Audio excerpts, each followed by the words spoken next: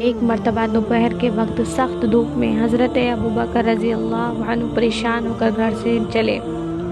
मस्जिद में पहुँचे ही थे कि हज़रत उमर रज़ी अल्लाह भी इसी हालत में तशरीफ़ ले आए। हज़रत अबू बकर रज़ी अल्लाह को बैठा देखकर दरियाफ्त किया कि तुम इस वक्त कहाँ? फरमाया कि भूख की बेताबी ने परेशान किया।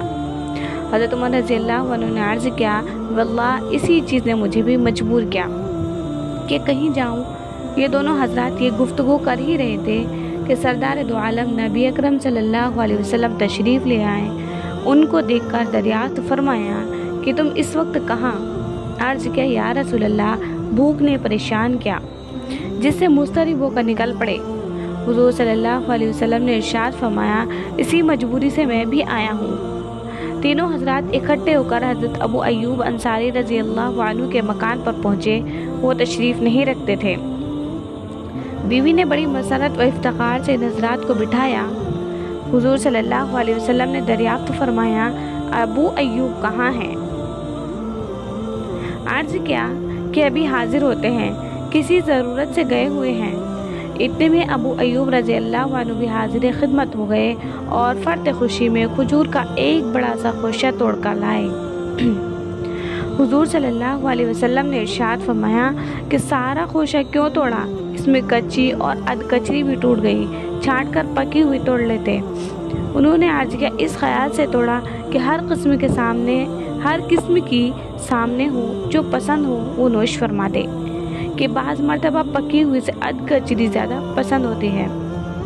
खोशा सामने रखकर जल्दी से गए।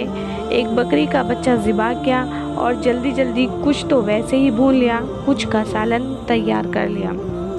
हुजूर अलैहि वसल्लम ने एक रोटी में थोड़ा सा गोश्त रखकर अबू अयूब को दिया कि ये फातिमा को पहुँचा दो, उसको भी कई दिन से कुछ नहीं मिल सका। वो फ़ौरन पहुँचा कर आए। इन हजरात ने भी सैर होकर नोश फरमाया। इसके बाद सल्लल्लाहु अलैहि वसल्लम ने इरशाद फरमाया कि ये देखो, अल्लाह की नेमतें हैं। रोटी है, गोश्त है, हर किस्म की कच्ची और पक्की खजूरें हैं। ये फरमाकर नबी अकरम सल्लल्लाहु अलैहि वसल्लम की पाक आँखों से आँसू बहने लगे और इरशाद फरमाया, उस पाक ज़ात की कसम जिसके कब्ज़े में मेरी जान है, यही वो नेमतें हैं जिनसे क़यामत में सवाल होगा।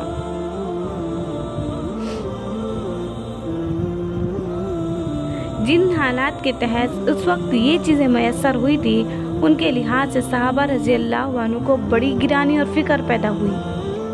कि ऐसी मजबूरी और तरह की हालत में ये चीज़ें मैसर आई और इन पर भी सवाल व हिसाब हो। हजूर सल्लल्लाहु अलैहि वसल्लम ने फरमाया कि अल्लाह का शुक्र अदा करना तो ज़रूरी ही है ही, कि जब इस किस्म की चीज़ों पर हाथ डालो तो पहले बिस्मिल्लाह पढ़ो और जब खा चुको तो कहो, अल्हम्दुलिल्लाह हुआ अशबाना वन अलैना अफजल। तमाम तारीफ़ अल्लाह ही के लिए है, जिसने हमको पेट भर कर खिलाया और हम पर इनाम फरमाया और बहुत ज़्यादा अदा किया। इस दुआ का पढ़ना शुक्र अदा करने में काफ़ी है।